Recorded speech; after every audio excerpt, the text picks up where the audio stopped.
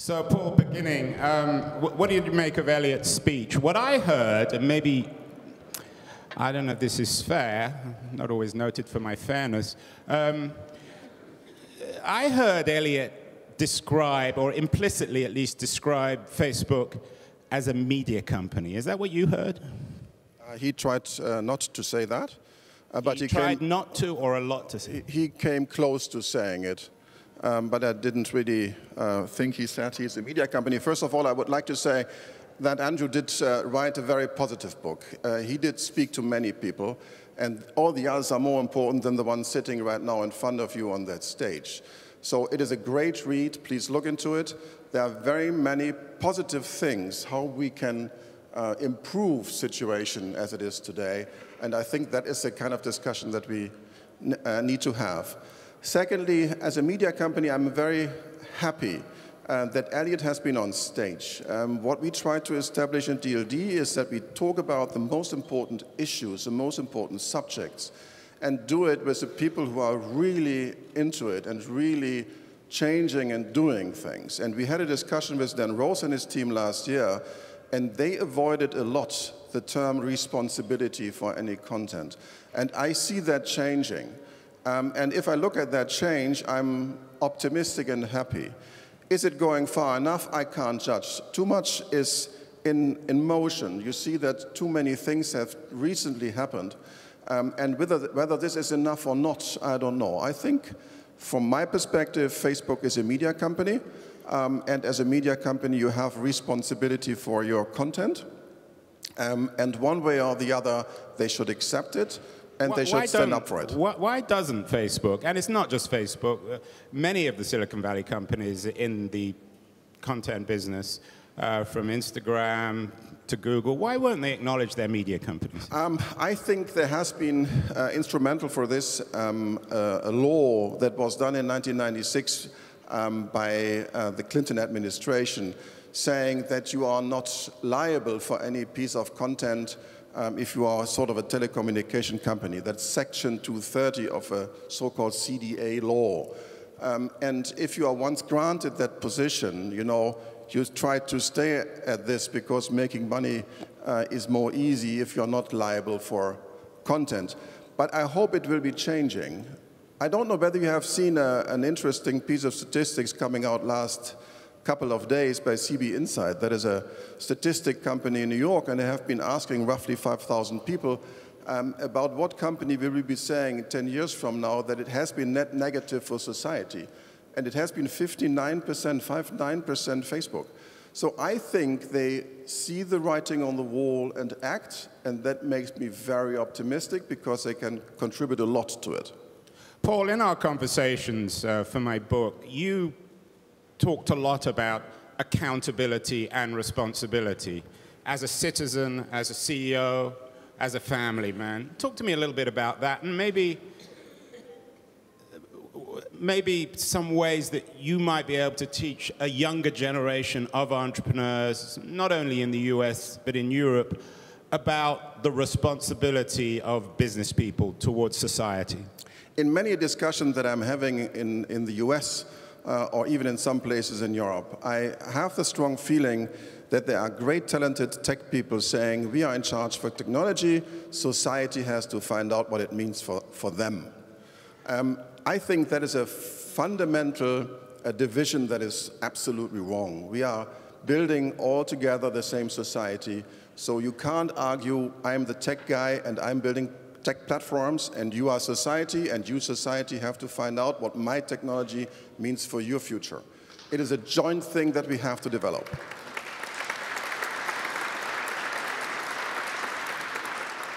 I think that's especially true in IT because what is done in IT is mostly invisible for almost everybody. So if the people who are doing something, creating something, don't have a very responsible position we are in bad shape. You find out so late and so difficult. So where does the moral education come from? Business school, families? Is it innate? Is there something Kantian in German executives that makes them a little bit more accountable? Uh, it's applying common sense to reality. Um, and um, you see that, that it's a tradition in, in Europe altogether.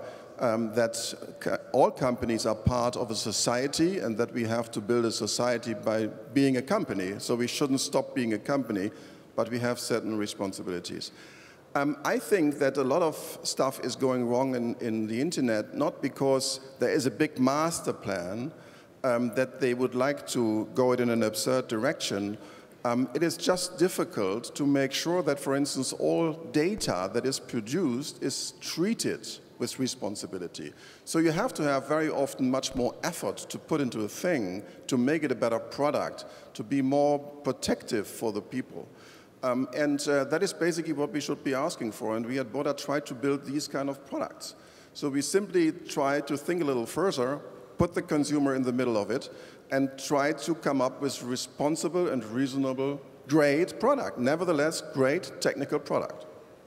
Paul, the responsibility of regulators. I know uh, Kara did an interview once with Obama.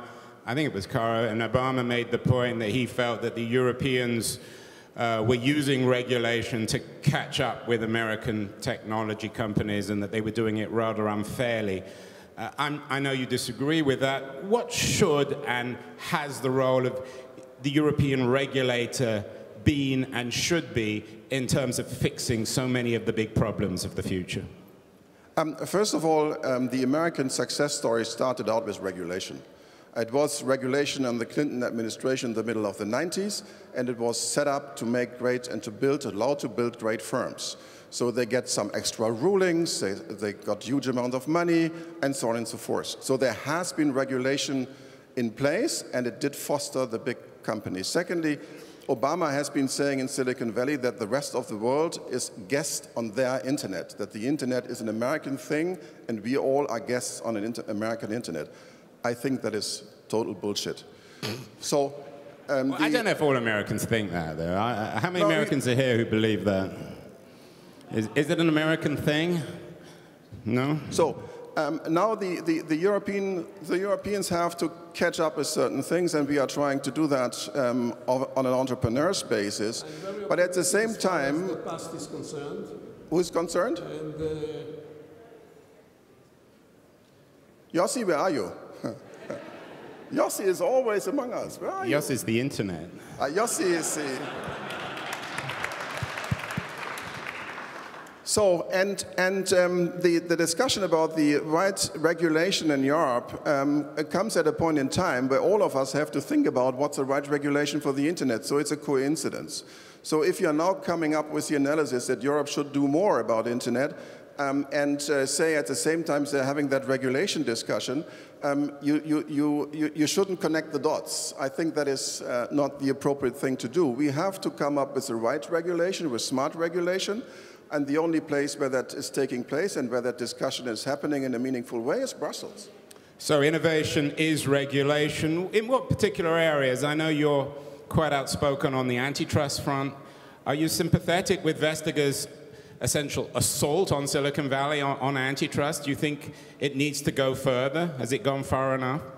Um, I, I, think um, always monopolies are harming societies. Um, so the big question is, uh, do we have some?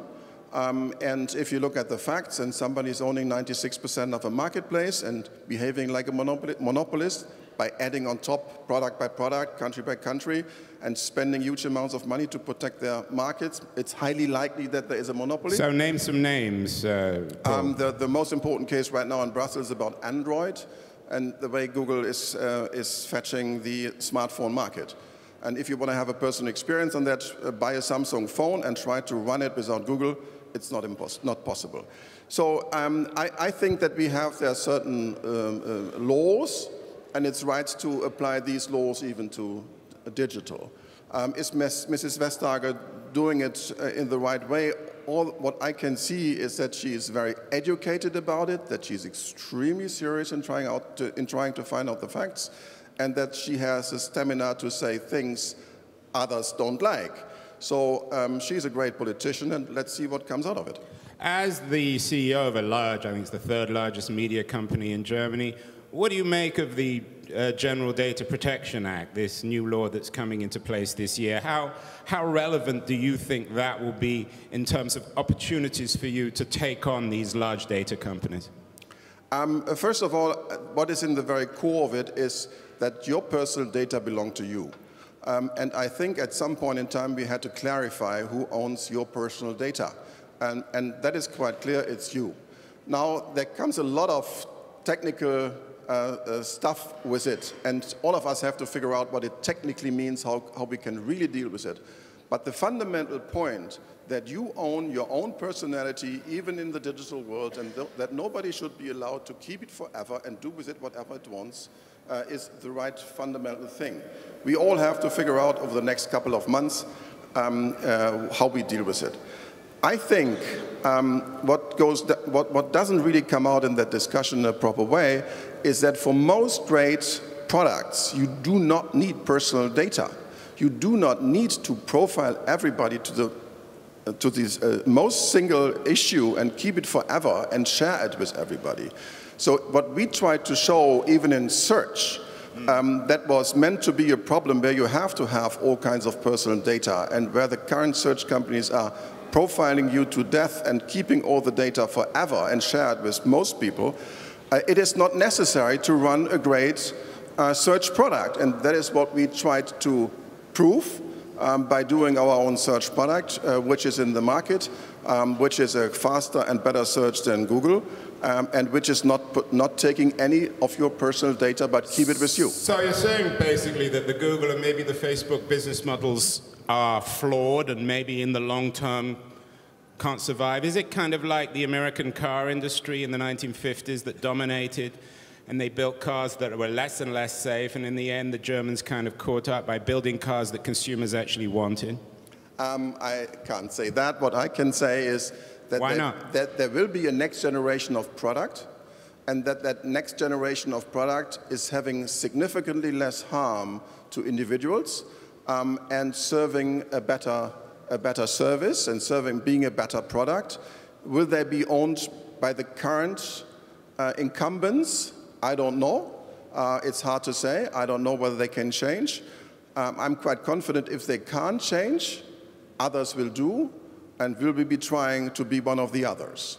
There's been a lot of talk, particularly in the US, around Apple, uh, about technological addiction more and more people in, in, Silicon Valley are acknowledging, particularly that their smartphones are addictive. What do you make of that? Is technology, the, the, the, the smartphones that we all, I've got one in my pocket, of course, we all do, uh, are they addictive, particularly for kids? Um, they can be. Uh, it's the same discussion we had about TV 20 years ago. Um, and uh, yes, some people who think about education must come up with rules that kids don't spend their whole day in, in front of these uh, technologies, in front of these things. Um, I am on the side of uh, Ian Goldin last year. He presented his ideas about the new renaissance, about the great things that we can expect from new technology. Um, but we have to make sure that we end up, that we end up on the positive side of it.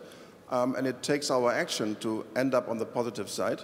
Um, and um, that can even mean that parents are doing a normal thing educating their kids in using new media.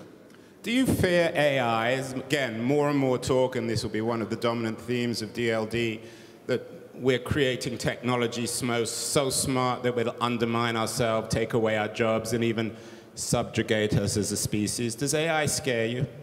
Uh, AI doesn't scare me. Uh, again, it needs a discussion what are the fields where we don't want to progress uh, how much progress do we want to have in genetic uh, frequency?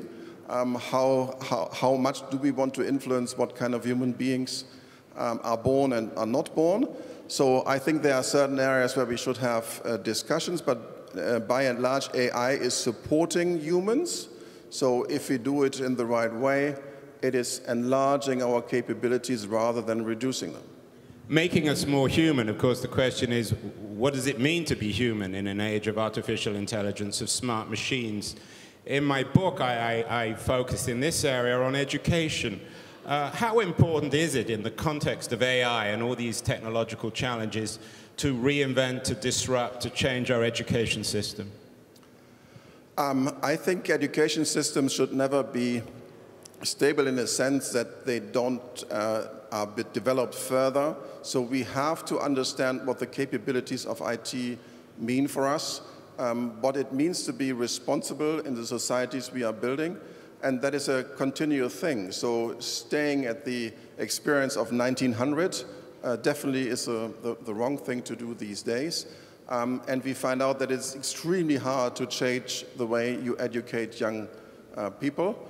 Um, and uh, we should put more emphasis on, on doing it in the, in the right way to prepare them for the lives they have to be expecting. Are there, uh, again, in Silicon Valley, one of the most innovative schools, ironically, are Waldorf schools where technology and screens are banned. Um, where do you see the role te of technology in, in innovative education? Should kids be subjected? Should they access programming and technology at an early age, or should they focus on their innate creativity? I'm, I'm not an expert in that. I'm sorry. I pass that question.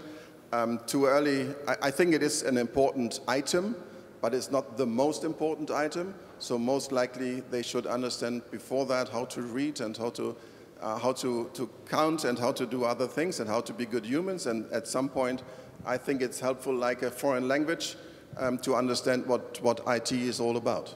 So the role of technology in, in, in, learning how to be a good human being, you, you don't really see much of a role for technology in that. Um, I, think that it's not a particular uh, technology role. I think people who understand what it means and who understand and can interpret technology should be involved. Um, is it an IT kind of education in a limited way? I see that, but not beyond that. What about the role of citizens? Everyone here obviously is a citizen. What can people do in your mind, whether they're in or out of the, of the industry? How can they help fix the future? In my book, I invent something called More's Law, Thomas More's Law, which um, very different from Gordon Moore's law, Thomas More being the 16th century English author of Utopia, focusing on agency. Uh, in my mind, the great challenge in our age today is reasserting our agency. How do we do that? I think all of us are consumers, so we have a voting right in the market. Um, by doing the right thing as consumers, we can influence a lot. Um, all of them would like, all of the companies would like to capture um, our time and would like to capture um, our, um, our, our, our, using the products. So we have a lot of power. Um, if we use it in a proper way, we can change a lot, like in all normal markets. Um, and the more standards are understood and the more it is clear what comes on the backside of products, um, I think the more people can decide how to behave and, and, and, and, and what to do um, by consuming and using products. Paul, where are we in the narrative? Uh, you know, every year at DLD and events like this, people bring up the, the, baseball analogy. You know, we're in the first inning, the second inning, the inning, the game hasn't started. It seems like we're on the wave of a, of a new set of revolutionary innovations, AI, virtual reality, the Internet of Things as a German, you're very good at historicizing things. Where are we in 2018, 10th anniversary of DLD? Are we at, still at the beginning of this thing? Um, I'm more a soccer guy, so we okay, only so, we, so we first only half have, or second half. We, uh, we only have two halves. Um, we, are, we are clearly in the second half, um, so we are coming to the decisive moments, a 60th minute. Um, so normally at that point in time, the, the trainer, the coach is changing a few people on the place and deciding should we uh, um, be more aggressive or more defensive. Um, so I think uh, we are in a very decisive moment. Um, and uh, that means all of us have to be involved in leaving this not only to tech people, um, but having a broader discussion about what it means for our society. So 60th minute. 60th minute. For any uh, English soccer fans here, there's the old uh, joke, uh, England plays Germany, um, and it's always a draw until the 90th minute, and then Germany wins, or they win on penalties. Uh, so you enjoy so that we, one. we, we look bad for a very long period of time, and then finally we make it. But in terms of this... That's our intention, by the way, this time as well. but in terms of this idea of the second half, I know that Angela Merkel talks about the second half too, and the idea of Germany and maybe Europe fighting back. Uh, so we're at the 60th minute of the game. You may be a two or three nil down to America. Can you come back? Um, we, we, will, I think we will be developing a different uh, model. Um, the US more is built for the huge monopolies that would like to have global reach. And basically that's the same thing I see in China. And basically the, the, the policies and the tools they are following are very similar. Um, I think the European model will be a more divided model, so we will see significantly more companies, but they will never have the size of these huge titans. So I do not foresee that we will have a company based in Paris worth 500 um, billion uh, US dollars. We will have smaller companies, and that fits much better to the European thinking and to the uh, European way to organize lives. Um, if you look at these companies, we even today have great companies, a lot of great companies, and much, much, much more to come. So the environment has become significantly more entrepreneurial, significantly more money is flying into it. Um, and uh, in, in terms of regulation, so that we have a single European market where you can really act, I think we, are, we have progress. Could and it be faster? Always. And you think those European companies, the smaller ones, may be better for society than the larger American companies? Um, for our society, clearly yes. Uh, for the Chinese society, I can't judge. For the US society, I think you have to make up these uh, decisions. So, for the headline writers out there, Paul is saying three worlds a Chinese, uh, three technological worlds. The old ideal, or maybe dystopia, of a, uh, a, a, a, universal global market no longer exists. A European model, an American model, and a Chinese model. Is that what you're saying? Yes, and there's uh, some similarity between the Chinese and the US model. Wow. So it's. Uh, what are the uh, final question? Uh, I've got 30 seconds, easy one. Uh, what are those similarities between the Chinese and the American models? All wanted to build uh, a handful or maybe two handful of global market leaders um, and dominate the way other people act in these markets. and that is something we definitely don't see in Europe. Well, I'm definitely staying in Europe. Thank you, Paul.